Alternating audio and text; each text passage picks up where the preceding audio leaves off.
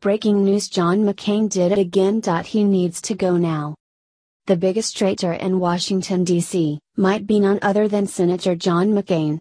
Disturbing information continues to emerge about his direct ties to Muslim terrorists and the London bomber, and how he's owned and funded by Saudi terrorists and George Soros. Ever since Trump got into office, McCain has done everything in his power to subvert the President of the United States, which is a federal crime. As McCain continues to garner the sympathy of many Americans who still falsely believe he's a Vietnam War hero, it's time that we finally set the record straight about the unbelievable things McCain did during his time in the military, before McCain's eyes and nauseating tributes are made about his service in Vietnam. It's important to note that due to McCain's familial ties to high ranking naval commanders during his time in service, his father and grandfather were both four star admirals, the majority of McCain's massive catastrophes and scandals in the Navy were completely buried, and his military records sealed. We reported several weeks ago how John McCain was solely responsible for the horrifying atrocity aboard the USS Forrestal aircraft carrier on July 31, 1967, where McCain's cocky maneuver of doing a wet start of his plane would go on to kill 134 sailors, in the deadliest loss of life the Navy has ever seen. But because of McCain's daddy being a four star admiral, the entire incident was buried, and the Navy never officially put blame on anyone for the tragedy.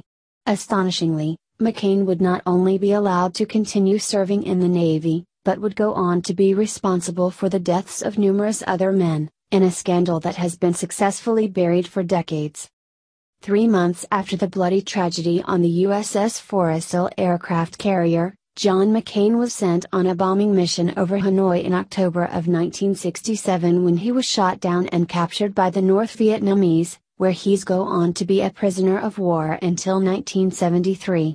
After being released from captivity, McCain would use his POW story and veteran status to rise to political prominence, where his image as a Vietnam War hero would go on to propel him to be elected as a United States Senator but a hero is the last thing that John McCain was or will ever be.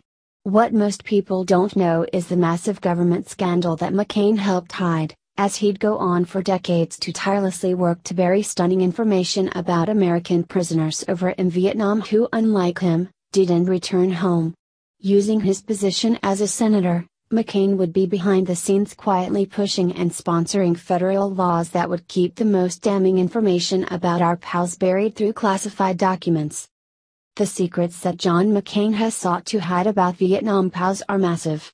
Despite sworn testimony by two defense secretaries of the men left behind in Vietnam, McCain continued to push the massive lie that there were no survivors, much to the horror of POW families who were frantic to know the truth about what happened to their loved ones.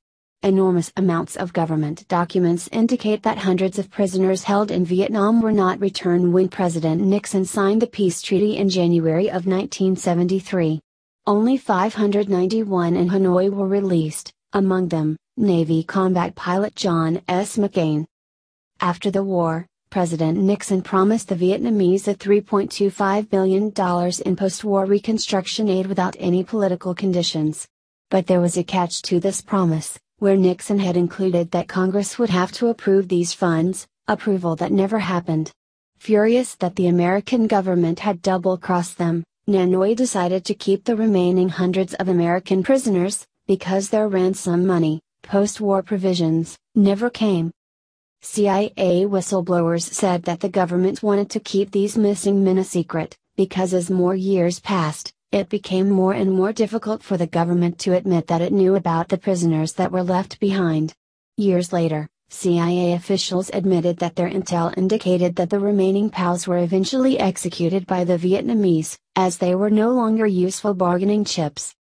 After the Pentagon's POW-MIA office was publicly shamed by internal whistleblowers that there were in fact still men in Vietnam being held as POWs, the pressure from the families and Vietnam veterans finally forced the government in 1991 to create the Senate Select Committee on POW-MIA Affairs, to investigate these allegations. John Kerry was made chairman of the board, and McCain became its most pivotal member.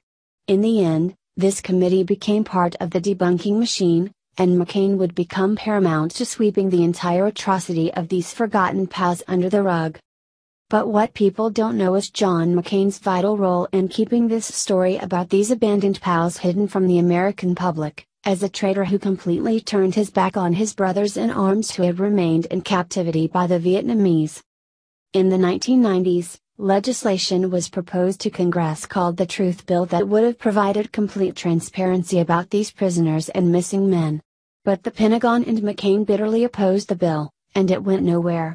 People were predictably outraged over the bill being shot down, so in an effort for McCain and crooked Pentagon officials to cover their asses, the McCain bill suddenly appeared several months later.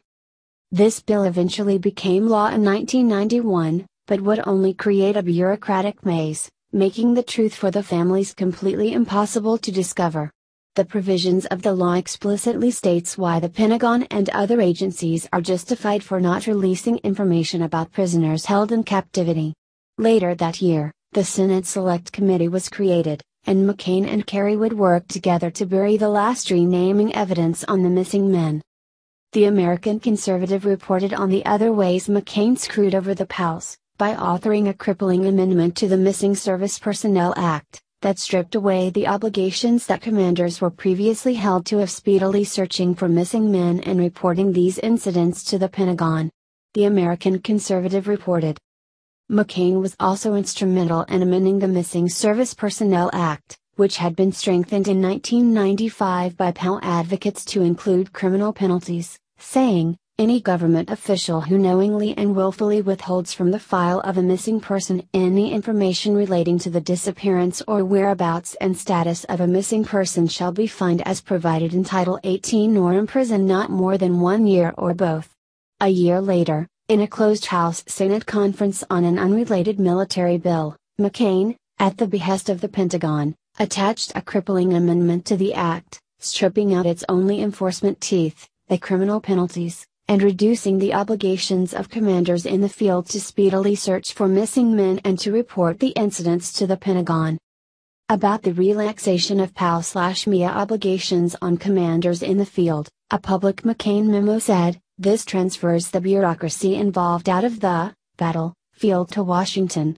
He wrote that the original legislation, if left intact, would accomplish nothing but create new jobs for lawyers and turn military commanders into clerks. McCain argued that keeping the criminal penalties would have made it impossible for the Pentagon to find staffers willing to work on POW-MIA matters. That's an odd argument to make.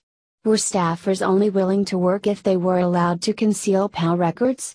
By eviscerating the law, McCain gave his stamp of approval to the government policy of debunking the existence of live POWs.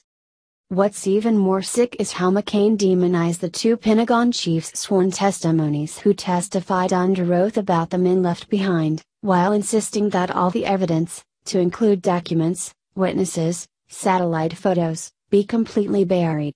He would go on to paint the entire story as an unpatriotic myth, calling the testimony of anyone coming forward Vietnam's POWs the bizarre rantings of the MIA hobbyists.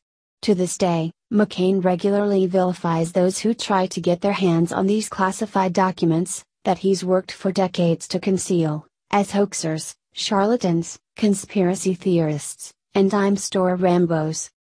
Ironically, the very same man who, who for decades has been propped up and hailed a POW war hero and crusader for the interests of other POWs, is the very same man responsible for their deaths.